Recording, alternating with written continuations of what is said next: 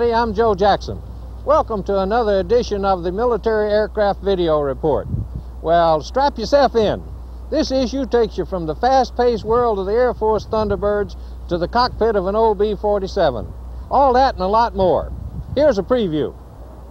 First, we recommend that you get a seatbelt for your chair as we go flying with the Air Force Thunderbirds. The ambassadors in blue are taking their colorful F-16s to new heights of performance. And you'll be there in the cockpit for some of the most thrilling images ever filmed. You know, people ask me, uh, what's, what's it like to be a Thunderbird? It's probably everything that you could imagine it to be and then a whole lot more. It's, it's exciting, very demanding on your time. It's challenging, but it's very rewarding, and uh, I smile an awful lot. Then it's back in time to revisit the world of the B-47 Stratojet. This classic airplane blazed a trail that was later filled by the great B-52. But the B-47 was a champion in its own right, as we'll learn in this nostalgic look at the glory days of the Strategic Air Command. From there, it's an inside look at the F-15 Eagle at its best. We take our cameras to the home of the 318th Fighter Interceptor Squadron, one of the best air-to-air -air units in the Air Force. You'll be there for the rigors of aerial combat, and see what it's really like with the help of actual gun camera videotape. Finally, we meet the newest trainer in the U.S. Navy. This is the Goshawk. But don't let the word trainer fool you. The Hawk has British roots in the form of one of the hottest airplanes in the world. Now, those are some stories I think you'll enjoy. But first, let's take our usual look into the world of new developments in military aviation. We'll start with a milestone for the Rockwell B-1B.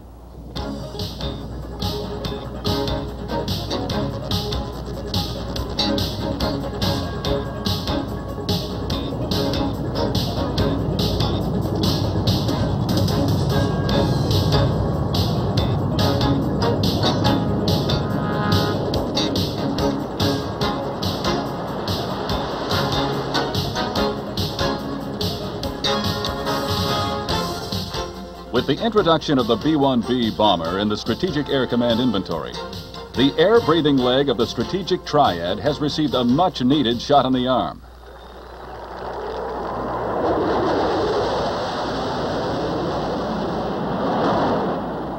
The B-1B is now operational at Dyess Air Force Base in Texas, Ellsworth Air Force Base, South Dakota, Grand Forks Air Force Base, North Dakota, and McConnell Air Force Base, Kansas. Several recent events have focused attention on the B-1B as a maturing weapon system. In June of 1987, it stole the show at the Paris Air Show, attracting record crowds. And the flight demo it displayed when the bomber left was telling evidence of its agility and power.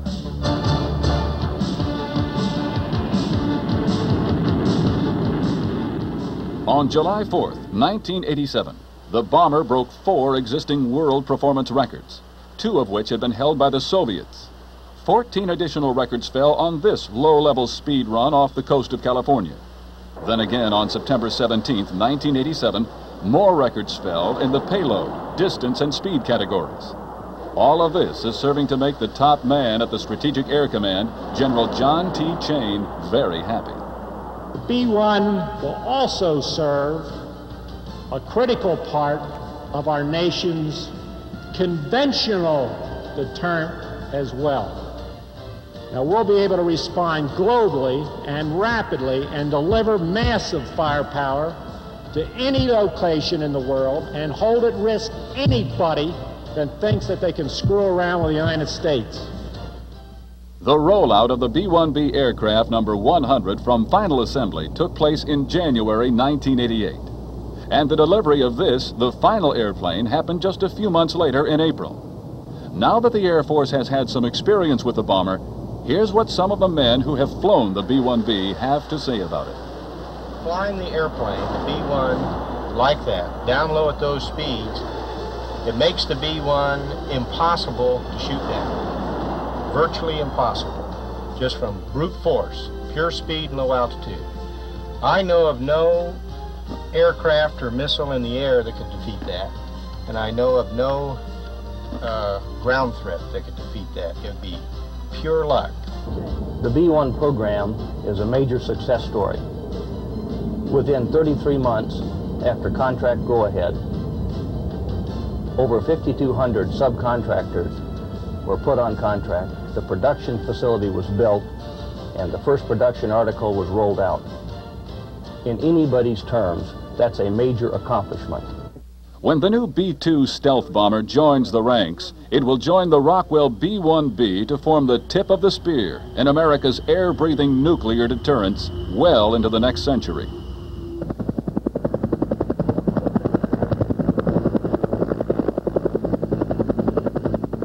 The Vietnam era CH 47 Chinook is going to be showing up in a new version in the not too distant future. Boeing has won a contract from the Army to develop what is called the MH 47E, a high tech version of the Chinook to be used in special operations. The new Chinook will be specially designed to operate at night and in bad weather at low level. Special operations calls for using the helicopter to engage a long-range penetrations of enemy territory to conduct clandestine missions. In order to do that, the Chinook will have terrain avoidance radar, new engines, a refueling probe, and increased armament. Look for the new Chinook to show up in 1991.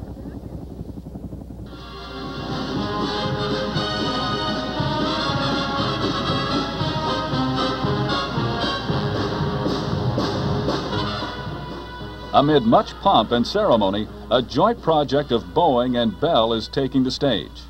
Say hello to the V-22 Osprey, the last word in vertical flight technology. The Osprey is a bridge between the airplane and the helicopter and makes use of the best of both worlds. It's a dream that all the armed forces have wanted to have fulfilled for a long time. That dream began in the 1930s when a heliplane was patented but never built. It was a design remarkably similar to later tilt rotor designs. At the end of World War II, many forward thinkers began developing convertiplane designs and building prototypes. In fact, in 1950, the U.S. Air Force announced a competition to design a true working convertiplane. The McDonnell Company built a special helicopter known as the XV-1. But Bell Aircraft decided on a different approach, called the XV-3. In 1955, during an attempt to actually fly the plane, the XV-3 experienced violent vibrations in the wing and rotors. After analyzing the problem, Bell modified the design and tested a new system. On December 17, 1958, the modified version completed the world's first in-flight tilt-rotor conversion. Over the next few years, the concept was refined, and during the same period, Boeing developed the VZ-2. These two companies continued to pursue tilt-rotor technology until the 60s and 70s, when Bell came out with the XV-15. The plane first flew in hover in 1977, and for nine years, the XV-15 proved the concept really did make sense.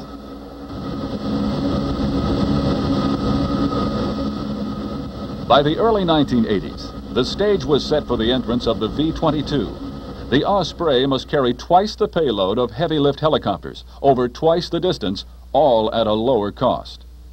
Bell, Boeing, and Allison, with its turboshaft engine, teamed up to win a contract for the V 22, and soon work began on the first aircraft. Nearly all the Osprey's wings and fuselage structural elements are fashioned out of graphite epoxy composites. In fact, construction of the airplane includes nearly all of the best in new avionics, including fly-by-wire controls, head-up display, and advanced props. From the beginning, the dream of tilt rotor flight has never died, and this, the V 22, represents the focal point of decades of effort. It's no wonder that nearly every service branch is interested in the Osprey.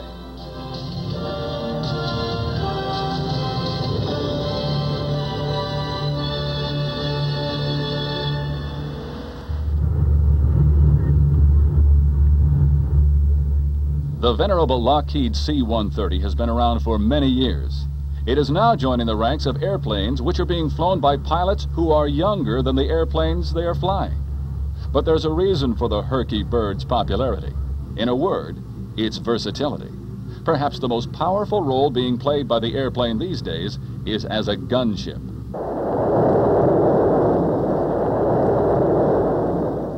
The AC-130s were used in Vietnam with devastating effectiveness. And now Rockwell International is in the process of updating the gunship to the AC 130U standard. The current gunship force consists of 10 older AC 130s operated by the Air Force Reserve. There are another 10 assigned to the Air Force Special Operations Squadron in Florida. Right now, Rockwell is looking to put in a 25 millimeter Gatling gun that will be able to fire at 6,000 rounds per minute. Also, a 40 millimeter cannon and a 105 millimeter howitzer, all with special racks to allow for quick and easy ammunition loading. Add to that a digital fire control radar, low light television, and a battle management station, and you have an attack plane with quite a punch. Although it hardly seems possible, the C 130 airframe is nowhere near outliving its usefulness. Count on seeing this familiar shape for many years to come.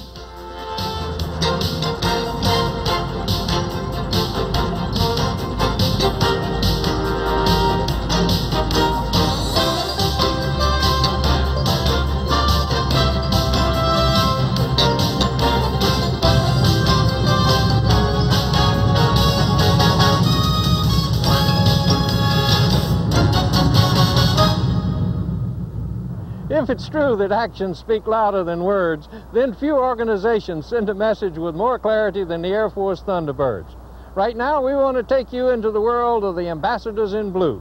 And even if you've seen them before, we think this point of view is unique.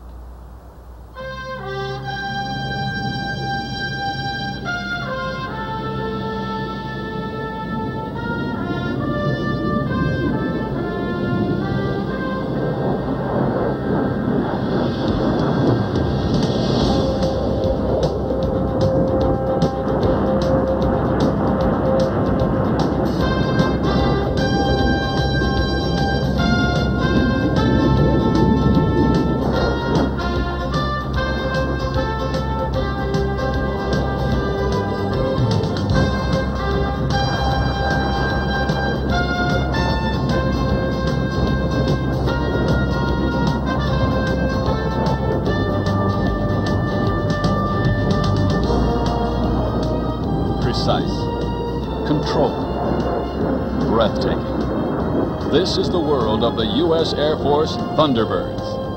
Over the years, millions of people have thrilled to sights like this, and countless others have seen it on television or in films.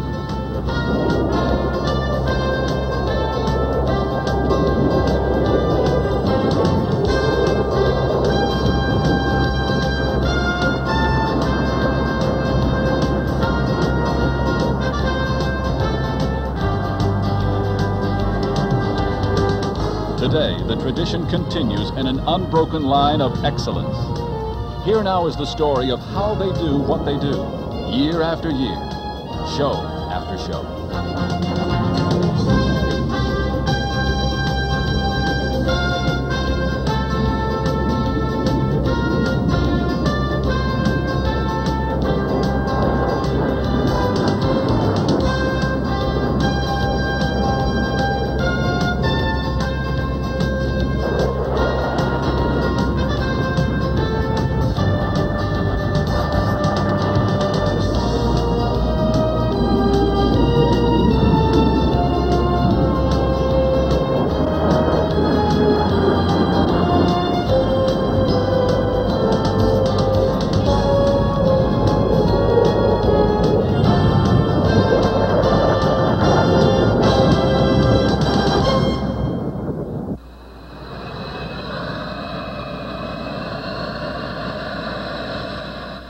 Usually begins this way for most observers the resplendent red, white, and blue F 16s arriving for another show.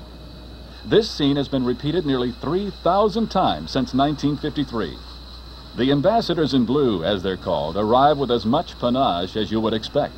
Only it impresses you more than you thought it would. Everything is so precise. There are a lot of things that go into making the difficult look routine. And in the next few minutes, you'll learn about most of it. But let's start with what most people focus on the pilots. They are the personification of professionalism. Only 11 officers are assigned to the team. And with more than 100,000 officers in the Air Force, well, you get the idea. It's tough to get in. Even the team members will tell you there are a lot of deserving folks that never make the cut. Here's Lance Unjum, slot pilot. I'm the lucky one that was chosen to do it. I know a hundred other guys that could fly the show in my position and do the do the job as well as I do. And it's just as tough for the maintenance crew to get assigned to the Thunderbirds. As soon as the airplane comes to a halt, they are literally swarmed upon by the cream of the crop in Air Force crew chiefs. As we'll see, there is literally no margin for error. And a highly motivated support staff is absolutely essential. People like Staff Sergeant Paul Duncan. We're the best we can be. We try to put 100% in everything we do. Consider the fact that in the entire history of the Thunderbirds, a performance has never been canceled due to mechanical failure. That kind of record requires painstaking effort. And there is more than just the mechanical soundness of the airplane. They have to look good as well as work properly, and that means hours of cleaning and cleaning and more cleaning. Even when you're just cleaning, you're always looking at it. Like the two people that work on that same airplane all the time, we're, uh, we're constantly looking at it. You get to know that airplane better than you know uh, the back of your hand. Paul's crew chief, Staff Sergeant Steve Thompson, puts this perspective on it. Look at it this way. That there is a reflection of my personality, Paul's personality, who happens to be my assistant crew chief. It's just a reflection of us. And if that looks good, we look good. The instrument employed by the Thunderbirds is the F 16 Fighting Falcon. Without a doubt, one of the most popular fighters in the world, it is frontline equipment for perhaps a dozen nations. Its Pratt & Whitney F100 engine and advanced computerized flight controls give it the ability to turn up to 9 Gs instantly. The F-16 is also the first airplane the Thunderbirds have had in a long time that can instantly be made ready for combat, which the unit would do if called upon. Okay, ladies and gentlemen, we're going to take two photos each on a count of three. And one, two, three. And one more, please. A big part of what the Thunderbirds do on a more routine basis is to help recruit for the Air Force. And this scene is not at all unusual. Here, new recruits are being sworn in at a ceremony with the Thunderbirds. It's a thrill of a lifetime for the recruits and supplies long-range goals for those with the vision to dream of someday being on the team.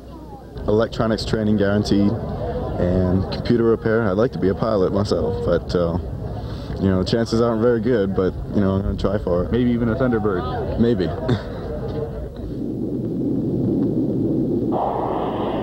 Into the float.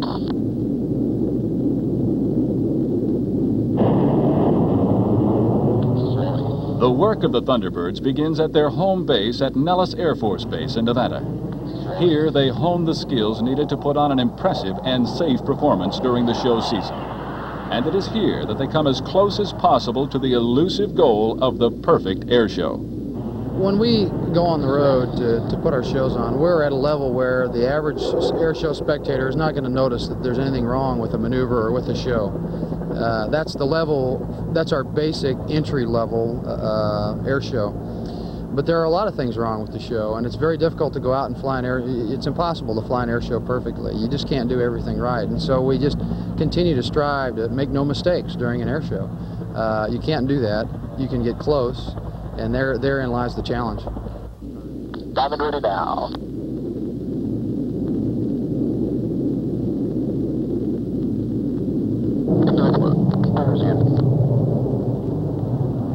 Gradually, the airplanes come closer together as the practice session takes them nearer to the actual show routine. When they are just inches apart, it seems dangerously close to the average person. But not to the pilots, because this is what they have been trained to do. The practice doesn't make perfect, but it makes you awfully doggone good. Uh, given that the aircraft are operating, we can go out and fly day in and day out and enjoy it while we do it, put on a good air show that it is supposed to look exciting. We want it to look exciting, but it's in, really in no way dangerous because we're, we're trained. Uh, we spend four months doing nothing but flying twice a day, every day, getting ready to go on the road for the show season. And now the practice is over. It's time to start the show.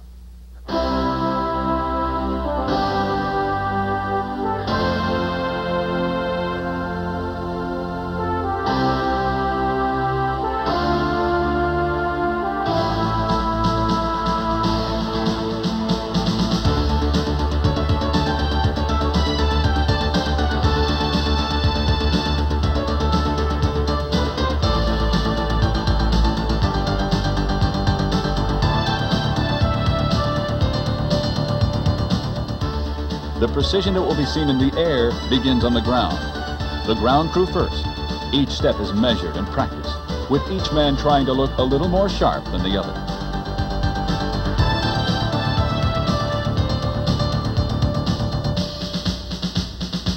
And then come the pilots.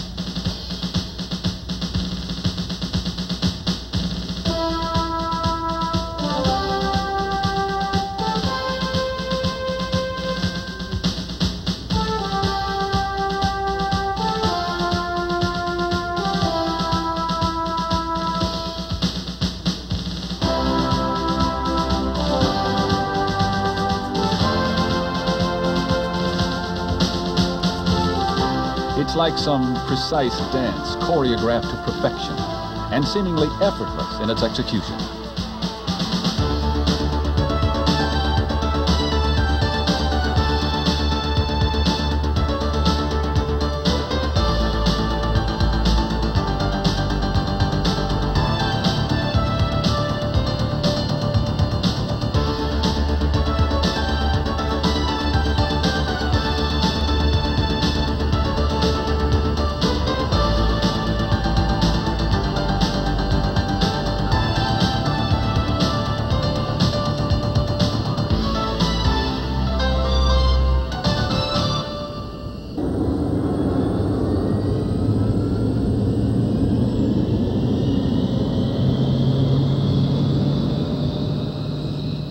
For the first time Thunderbird pilot, this moment can be one of high anxiety, despite all the practice.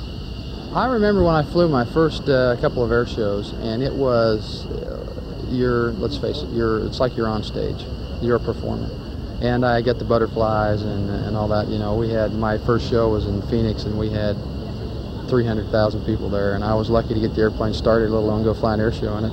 But that wears off after five air shows or so. Now I've flown 100, 120 air shows, and the butterflies aren't there. And you get, get back to the basics of trying to fly the airplane and put on as, as good a show as you can. At this point, each move of the performance is already etched in each pilot's mind, like a template. Each location demands a slightly different way of approaching it, but the essentials are the same, and the planning is made easier by the number of times these pilots go over and over the same routine. And the show that we put on, you know, we just don't come out here and wing a show. Uh, the air show that we fly, we have practiced a thousand times. And so we come in and we, we know exactly what we're going to do. We know exactly what's going to happen during the air show. And once again, that adds to our safety uh, aspect of, of the mission. Thunderbird, check. Two, three, four, five, six. Let's run them up.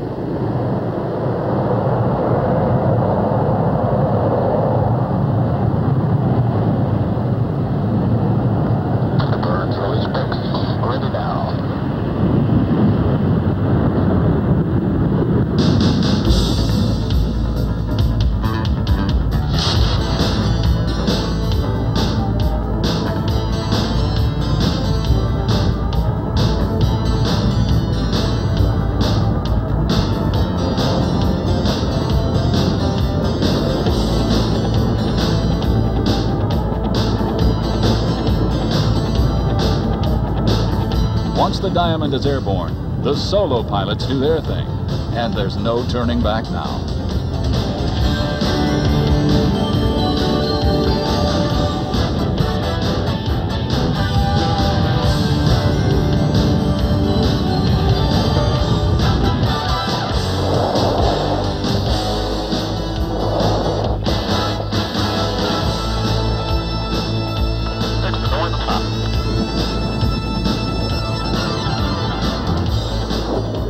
This high performance beauty and grace has not been specially created just to thrill the crowd.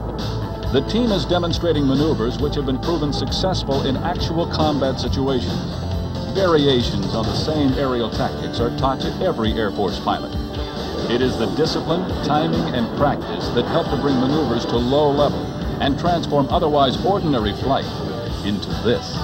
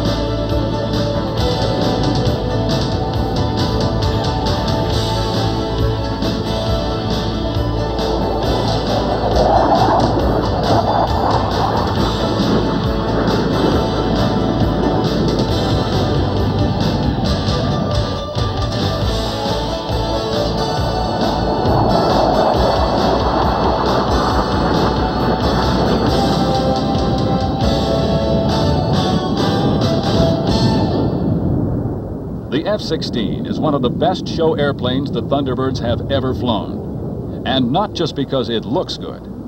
It just so happens that it's also a very good formation aircraft.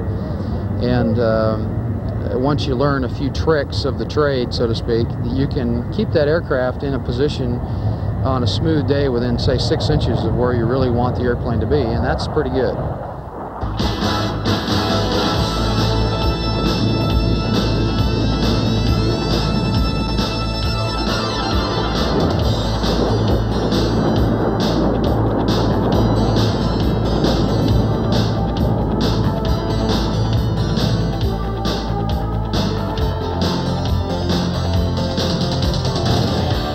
Maneuver builds in intensity as the planes seem to be linked by some invisible thread. In reality, each pilot is lost in total and complete concentration on the task at hand. Yet, ironically, this is what the pilots consider the relaxing thing to do. When I want to get away, get away from the, vigor, the rigors of the office, then I, if I get a chance to go get in my jet and go do it, then, uh, then that's what I want to do. So it's very enjoyable in that regard.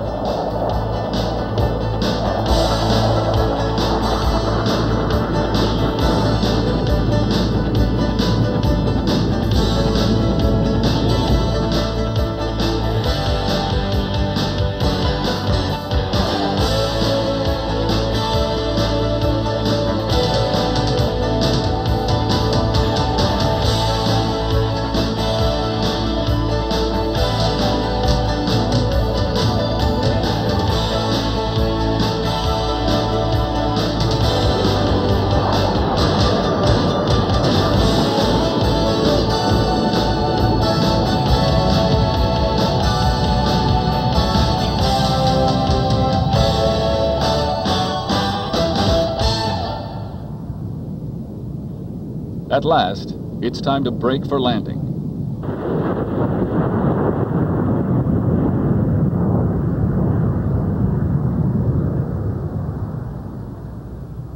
And reluctantly, they bring the F-16s back to Earth.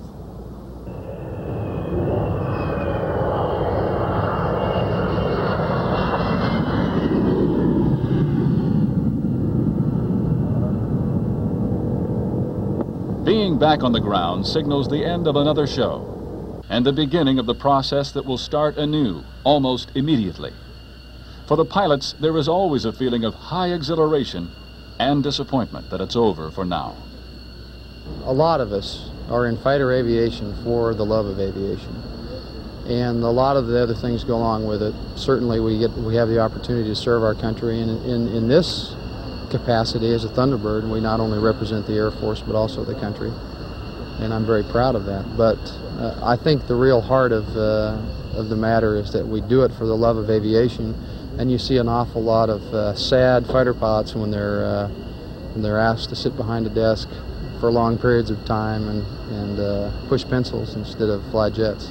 But that day is inevitable. Thunderbird flying officers serve a two-year tour, with one half of the pilots changing each year to ensure a smooth transition. Almost before they know it, it's time to leave the ambassadors in blue. And, uh, I'll look back with it uh, on the, the experience, and uh, I wish it wouldn't come to an end so soon. I'm going to miss it very much. But what a legacy has been left behind. Over the years, the Thunderbirds have won the Mackay Trophy for the most meritorious flight in the Air Force, and seven other outstanding unit awards.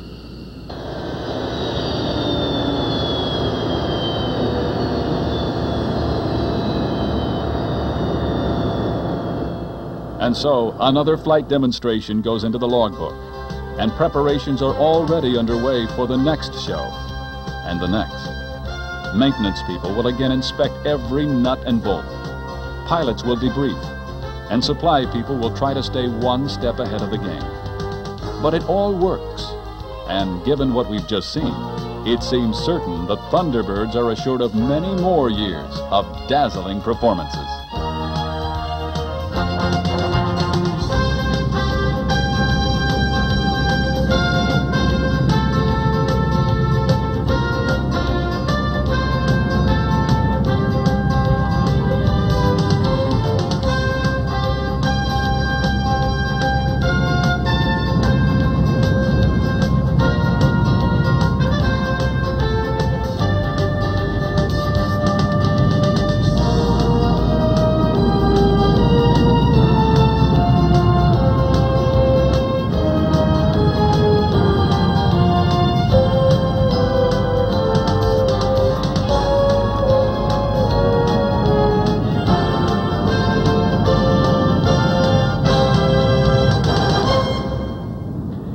Entire history of the Thunderbirds, a performance has never been canceled due to mechanical failure.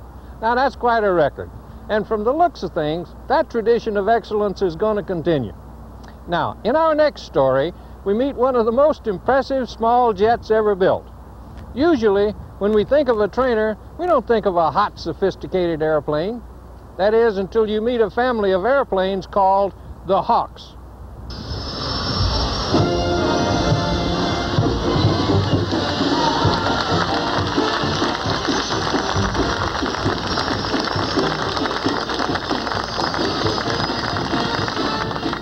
It's the dawn of a new era in naval aviation, signaled by the sight of a brand new airplane rolling out under its own power. Meet the McDonnell Douglas T 45 Goshawk. This is the way Navy pilots will be trained from now on. But the Goshawk finds its roots in a British aerospace design. And in order to fully understand just how remarkable this airplane is, you really have to start with the British.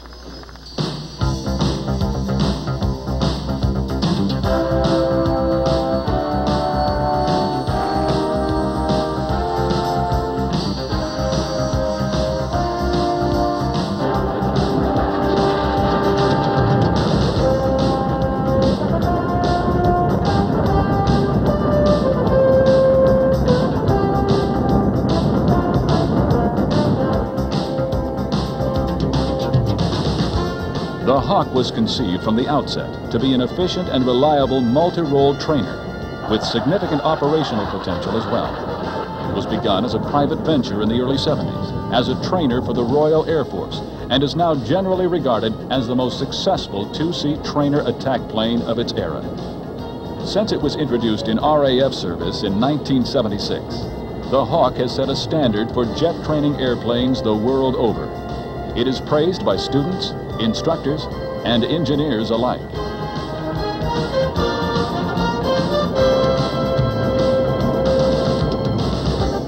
One of the major factors affecting student training in the early stages is confidence. Everything about the Hawk helps to instill confidence right from the start. The cockpit provides a comfortable working and learning environment with an uncluttered instrument layout and simple operating procedures. All of this helps the student to pass quickly to the main goal. That is getting the Hawk into the air.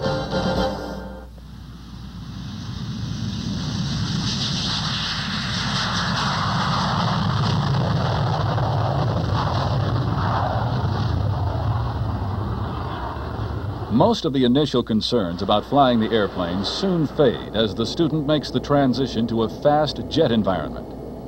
Confidence builds with the Hawk's easy handling, which means the instructor can get by with minimum interference. Perhaps the best thing about the Hawk is its ability to safely demonstrate all kinds of maneuvers, predictably. Maneuvers which could have dire consequences in a less controllable airplane. Increasingly, the student's ability to think and react under pressure is tested, and the Hawk can handle all phases of the transition. Until at last, the student is ready to apply himself to the real job, learning to use the Hawk as a fighter.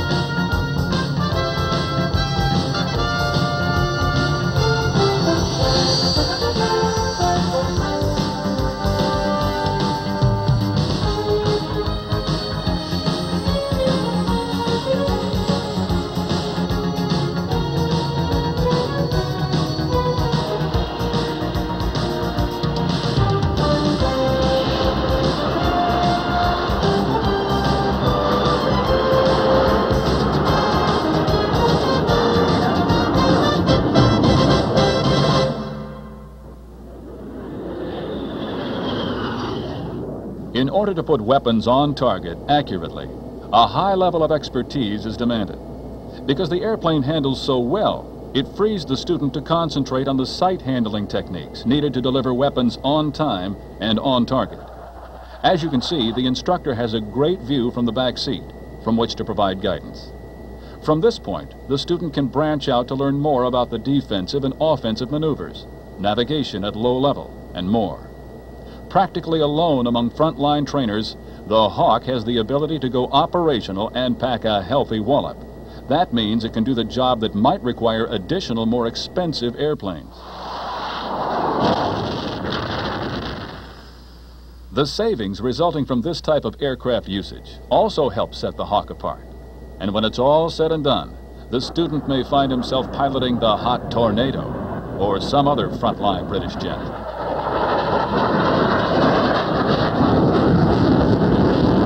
The Hawk can also be a frontline airplane especially with the help of forward-looking infrared radar and night vision goggles for the pilot. Add to that a laser rangefinder for weapons delivery, radar warning, and flare and chaff dispensers for self-defense, and you have a frontline airplane, not just a trainer. As a final measure of the inherent quality of the design, witness the Hawk 200, a single-seat version.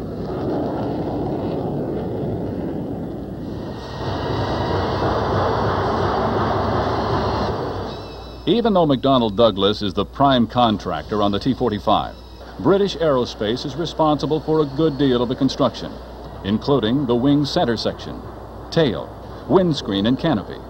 Rolls-Royce is supplying the Adour engine. Along with the completed airframes, McDonnell Douglas will provide a complete training system to go with the T-45. It includes computer-aided instructional devices, terminals, and academic materials as well. Here's Vice Admiral John Fetterman, commander of the Naval Air Forces for the Pacific Fleet. The T-45 aircraft represents the cornerstone of a total integrated training system concept. The T-45 training system will provide the Navy with the capability to produce up to 600 carrier-capable pilots per year through the year 2015. And that's a feeling which is echoed by Jim Worsham, the president of Douglas Aircraft Company. And the entire world of training has focused their eyes upon us and the Navy for what we're doing. It's a unique program, a program unique for both government and industry.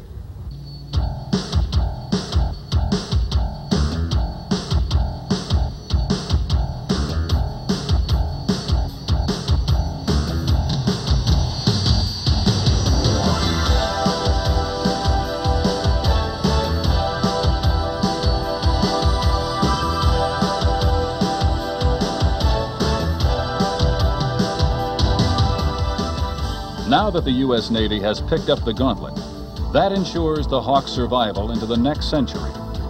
Current plans call for the Navy to acquire 300 of the T-45s. And while this plane may look a lot like the RAF Hawk, there are some mighty important differences. The T-45 has a tail hook, a new main and nose landing gear, and strengthened airframe to allow it to take the stress of carrier landings, especially with students at the controls. Final assembly of the T-45 takes place here at the Douglas Aircraft Plant in Long Beach, California. And it was here that the plane took its first flight shortly after the rollout.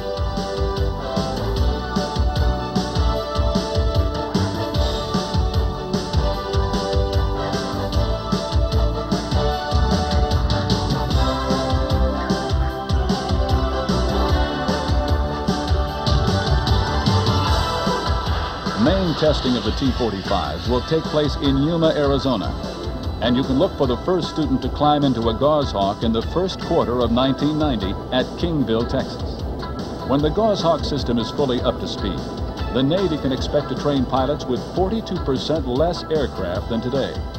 It looks like a pretty good deal for all concerned.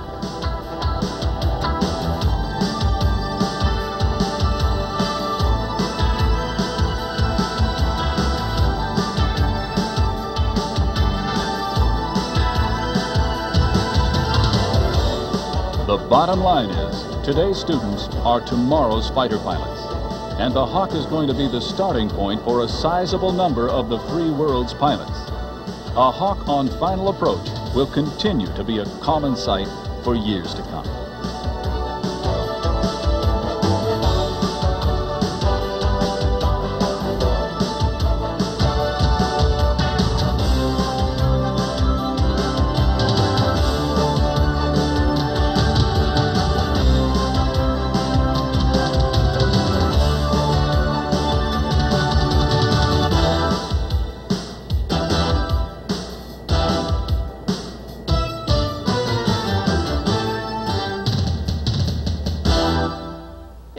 Addition to all of the other advantages, the Goshawk will save over 48 million gallons of fuel every year.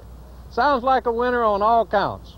Now for our historical piece, we revisit the world of this old bird, the B-47 Stratojet. I was in the Air Force when these came online, and I remember how much we thought of the airplane. Join us as we turn back the pages of time.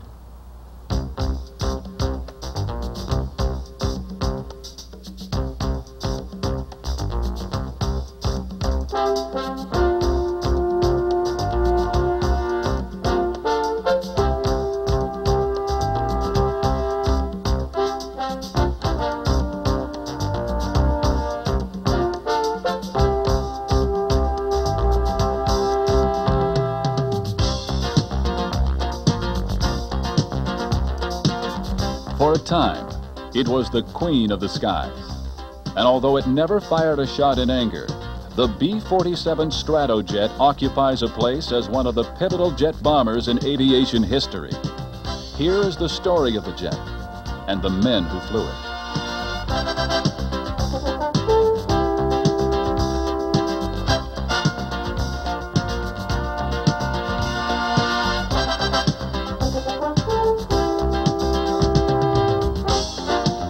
That story began for many men on the plains of Kansas. Here near Wichita is McConnell Air Force Base, known as one of the toughest schools in the Air Training Command. The men who came here learned to fly one of the hottest airplanes of its time, the Boeing B-47.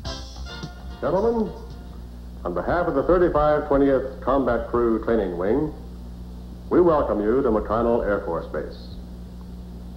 Now, you're here for an intensive training period qualify you as crew members in the B-47 airplane. Now, to acquaint you with some of the history of the Stratojet, we take you back to 1943, to the dark days of World War II. At that time, the B-17 was the mainstay of the Army Air Corps. The Super Fortress, the B-29, was just starting in production. At the request of the Air Force, the Boeing company began studies on the next generation of big bombers. This would be a bomber with something new at the time the jet engine. These studies, thousands of research hours, and exhaustive wind tunnel tests led to a six jet swept wing airplane. On December 17, 1947, exactly 44 years from the day the Wright brothers flew at Kitty Hawk, the XB 47 took to the skies. That flight sparked a revolution. Jet powered airplanes were definitely here to stay. By early 1948, the Air Force had decided it wanted Stratojets. Lots of them. That decision led to reopening of the government B 29 plant in Wichita, Kansas.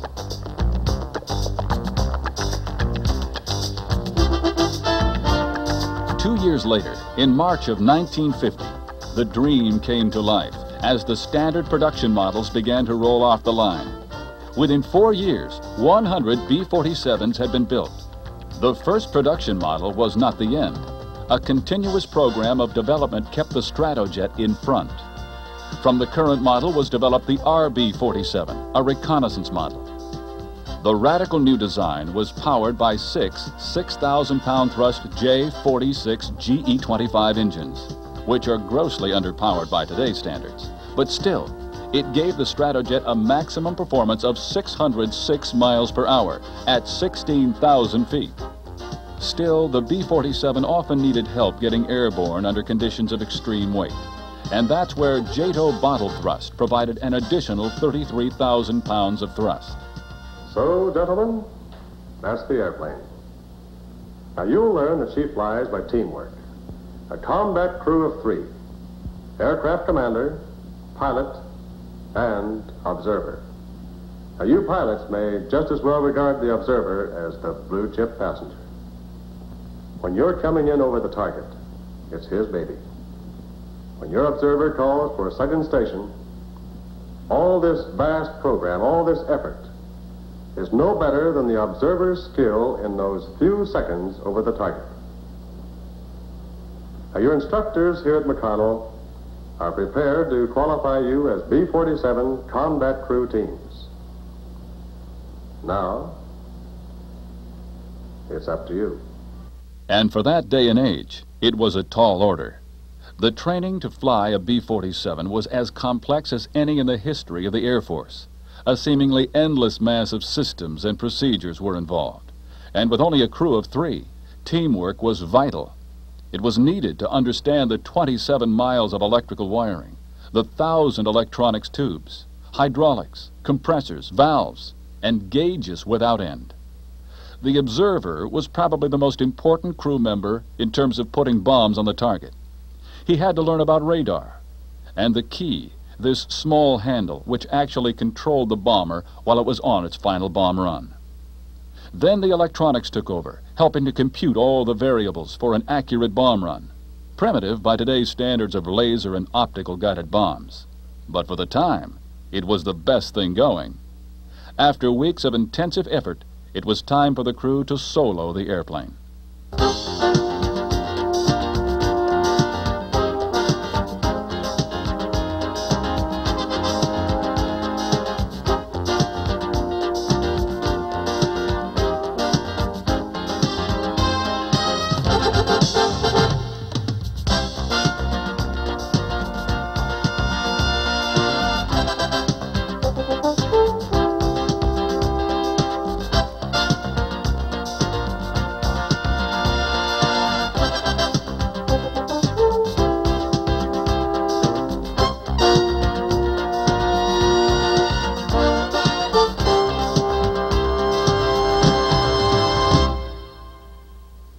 Often than not, the outcome was predictably routine. After all, the Air Force usually sent its best to train in what was the hottest bomber in the world. McConnell turned them out en masse for assignments all over the world. B 47s were deployed from Europe to the Far East and Africa. To achieve and maintain a high degree of readiness, then as now, simulated missions were flown under rigorous conditions. And our now operational crew is quickly thrown into the fray. Control Tower, this is Air Force 1956. Ready for takeoff, over. Air Force 1956. Cleared for takeoff. Roger, coming up on power.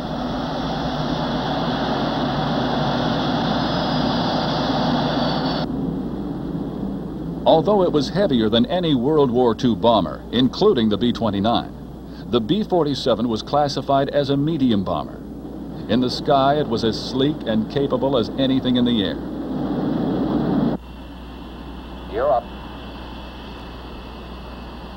Gear coming up.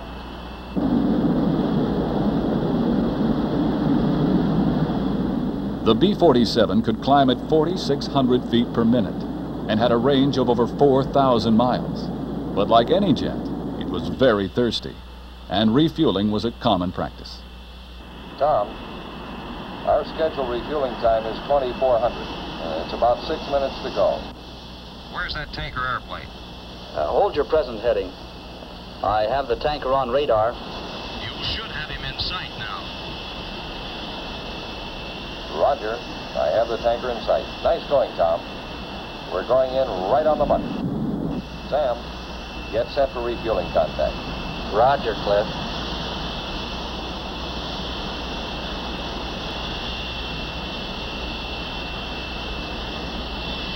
Refueling checklist complete.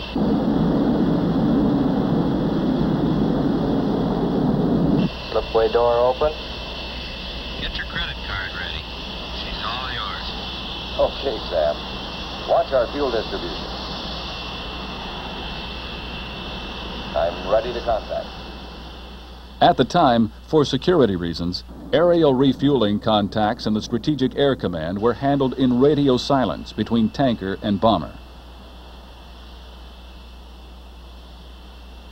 This delicate maneuver became so routine in the Air Force that even at the time, a refueling was taking place every three and a half minutes, around the clock, somewhere in the world. Just about got our load. Okay, pressure disconnect.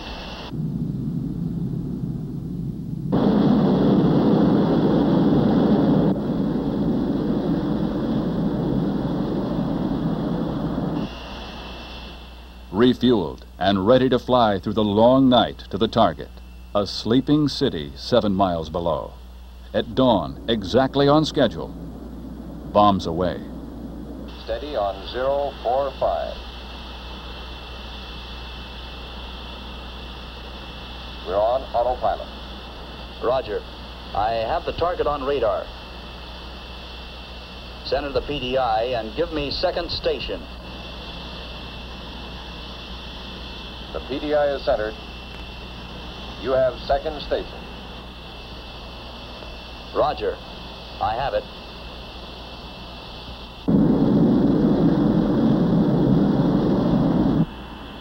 Time to go 180 seconds. This was the payoff. Three men, a machine, and the skills of thousands of people funneled into a few critical seconds. You have 30 seconds before bomb release.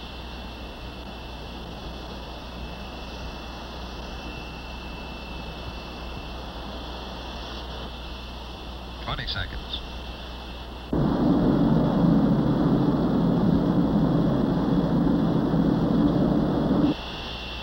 Ten.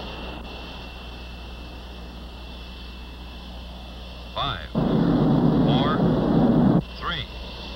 Two. One. As it turned out, the B 47 never did drop bombs in anger. But many a contrail curved through the world's skies as a symbol of the readiness of the Strategic Air Command. And the men who flew the B 47 will always remember that it opened the door for jet bombers in the U.S. Air Force. That role will never be forgotten.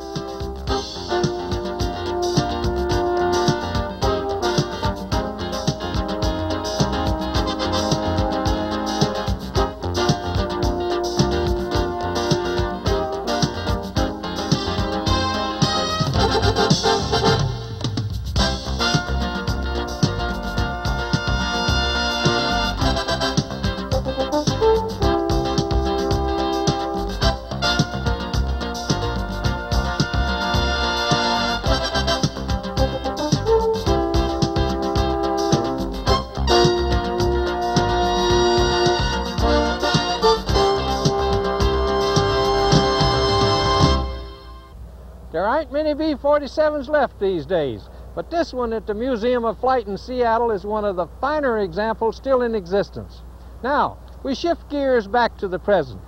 One of the best units in the Air Force is the 318th Fighter Interceptor Squadron, known as the Green Dragons.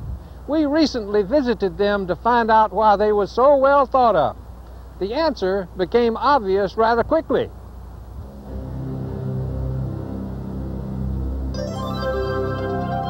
In the distance stands one of the most impressive mountains in North America, Mount Rainier. And in the foreground, one of the most impressive Air Force squadrons in North America.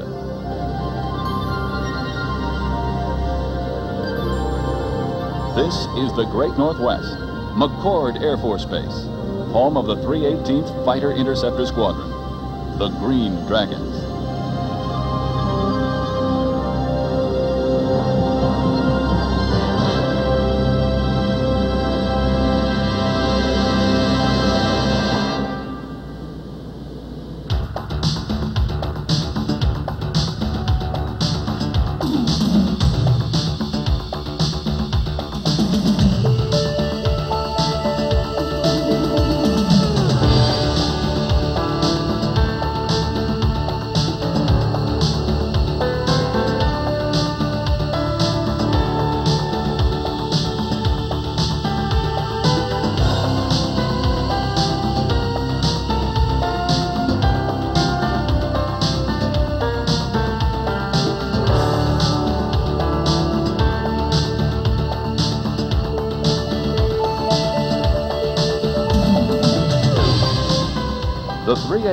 Is one of the few remaining active duty air defense squadrons in the Air Force. Their world famous blue tailed flash is a recognized symbol of excellence in air to air tactics.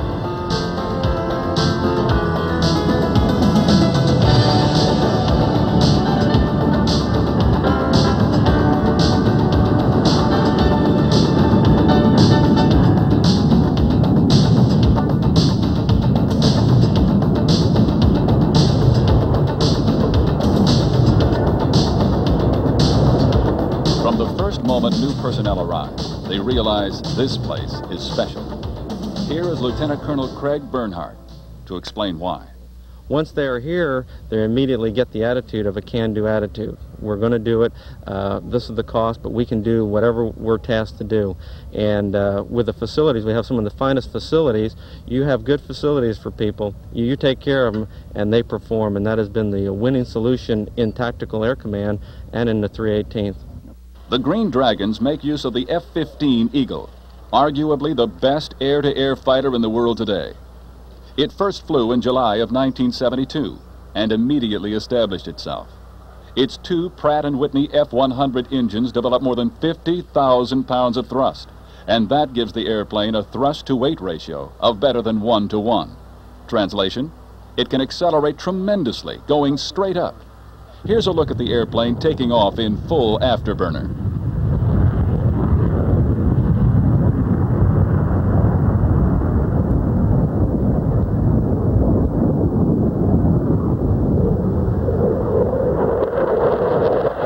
This is obviously an impressive sight, but don't expect to see this all the time. Usually only planes on alert take off this way. Most of the time, military power will get the bird airborne just fine, thank you.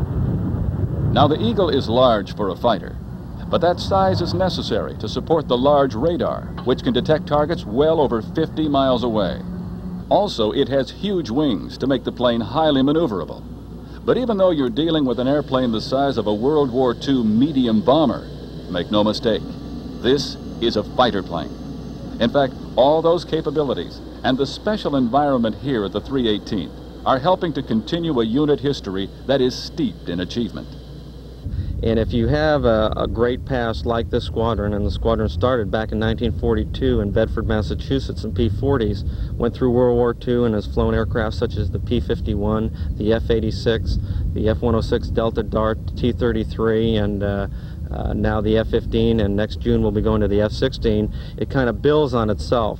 Uh, squadron won the Hughes Trophy in 76 and then again in 80, uh, 84 uh, which is for the best air-to-air squadron in the Air Force. We've been nominated two years since that uh, for the award, although we didn't win it. Uh, people just get it inside themselves and, and start believing in themselves that they're in the squadron and you're going to succeed. As Colonel Bernhard mentioned, the future will bring the F-16 Fighting Falcon to McChord.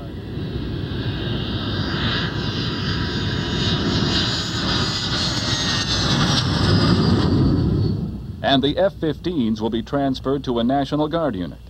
But the arrival of the new aircraft will not mean a change in the basic mission here. The specialty of the Green Dragons is air defense. That means attack warning and assessment. It means having airplanes standing by on five-minute alert, here and in California. And in the event of war, it also means defending the Northwest against attack. And there's more. Last summer, we intercepted a drug smuggler coming up the west coast. We've gone off on Navy planes, hijacked planes, people who are lost, and basically we're here to police the airspace around the United States. Because the mission here concentrates on air-to-air -air combat, this is one of the best places in the country for other units to come and hone their skills. Today, the Marines are occupying part of the tarmac. The Death Rattlers of VMFA 323 have brought their FA-18 Hornets to go against the Eagles of the 318. You see, in the air-to-air -air game, you learn by flying against airplanes other than your own. When you're flying two F-15s against two F-15s, sometimes you lose your partner out there, and you don't know if you're gunning your partner or you're gunning the opponent, so there's some hesitation. When you're flying against uh, other opponents that are dissimilar, there's no hesitation. You know who's good and you know who's bad. At least for the sake of today's exercise, the Hornets are the bad guys.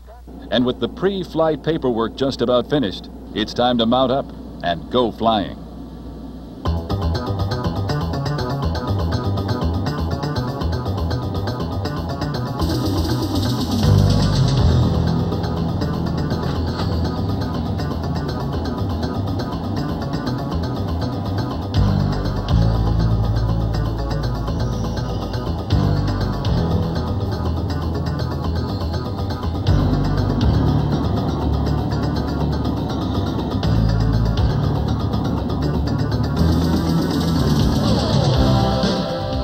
Is what the pilots live for. And all throughout the pre-flight phase, the excitement builds, no matter how many times you've done it before.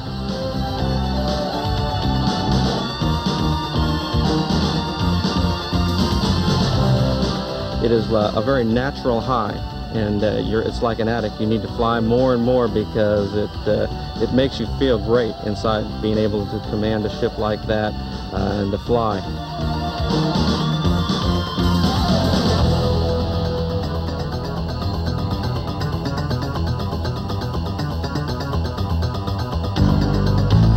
Along with the Eagles, the Death Rattlers get their Hornets rolling as well. It's time for man against man airplane against airplane, in the toughest form of military flying, air-to-air -air combat.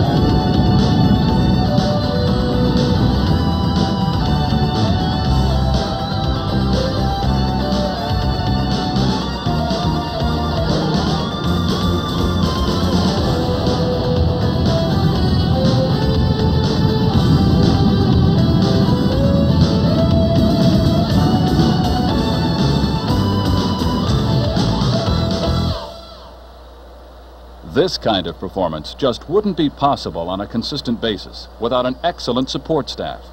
The Eagle is a marvelous but complicated bird, and the maintenance crews are the part of the picture that you don't often see.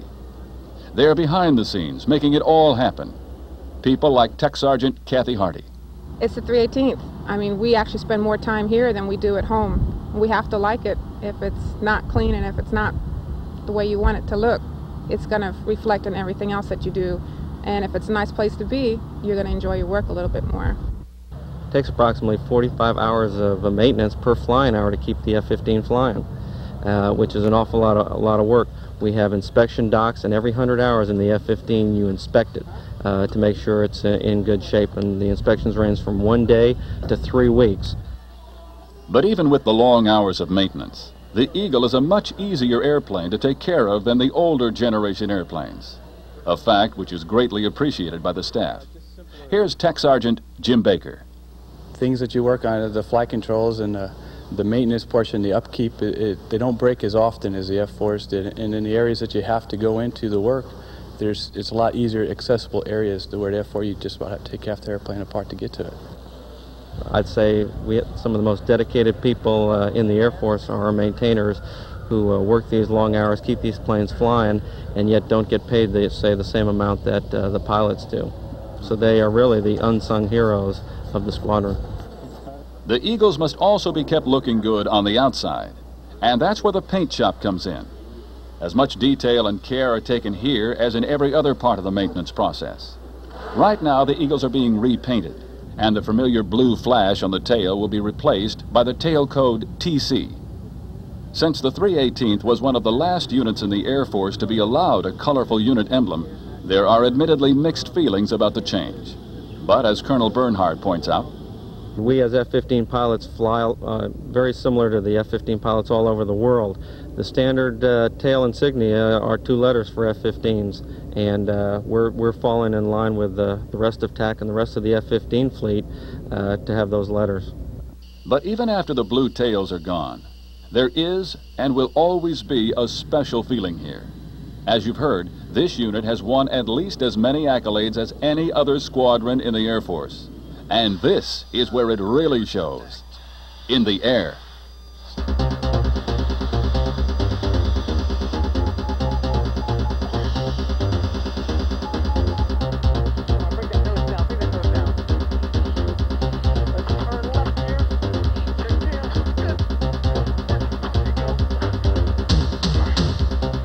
The key to staying alive in this tough world is what the pilots call situational awareness. That means that even when there are multiple aircraft, multiple threats, and fighting in the vertical and horizontal planes, The pilot who comes out ahead is the one who knows at any given point where he is, where the enemy is, and what can be done to put ordnance on the target.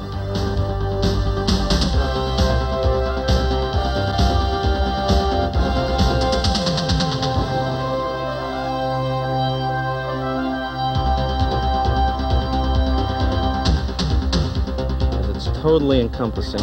Uh, there is no time to think of anything else except the flying that you're doing. And specifically for us, flying becomes secondary. Working the radar and the weapon system and uh, doing the basic maneuvering against other airplanes then becomes primary. So you don't have any time to think about what's happening.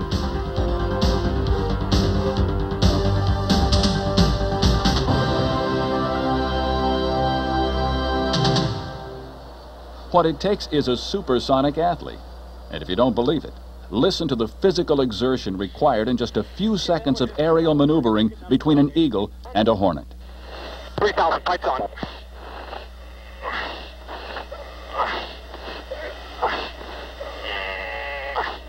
Off the wing. Control there. Airspeed there. You did a level turn there.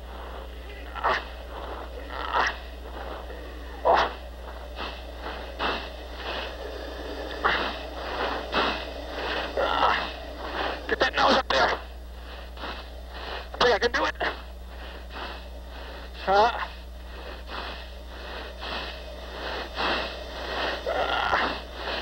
tracking kill, knock it off. Roger, knock it off. For the men returning from this kind of exercise, there are really no winners or losers, just good pilots who are even better as a result of lessons learned. Flying in these high-performance aircraft and pulling G-forces, say if you pull 7 Gs, your arm weighs seven times its uh, normal weight, or your head weighs that, and it is very physically demanding. It's like isometric exercises. So you come back and you are mentally and physically exhausted uh, from a great workout, but you feel just absolutely fantastic.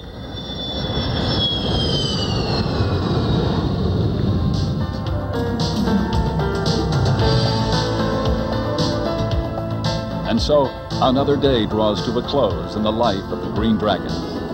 They have a complex and difficult mission that is being accomplished because the people here desire success more than anything else.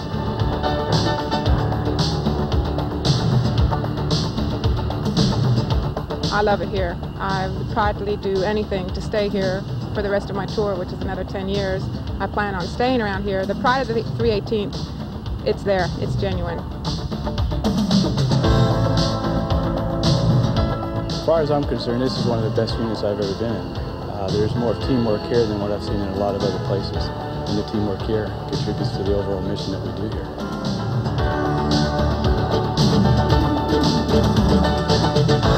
Whatever we are tasked, we have always done extremely well.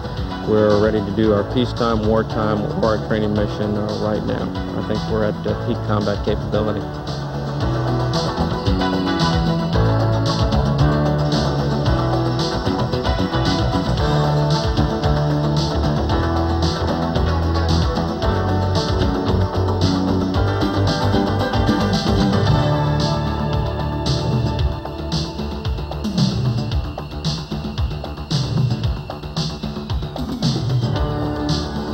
Tomorrow, the Green Dragons of the 318th Fighter Interceptor Squadron will demonstrate that fact all over again, here in the shadow of Mount Rainier.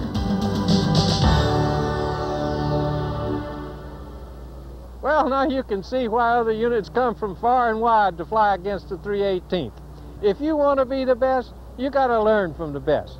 Well, that's all for this edition of the Military Aircraft Video Report. We hope you enjoyed it. And if you did, tell a friend. We can always use another viewer.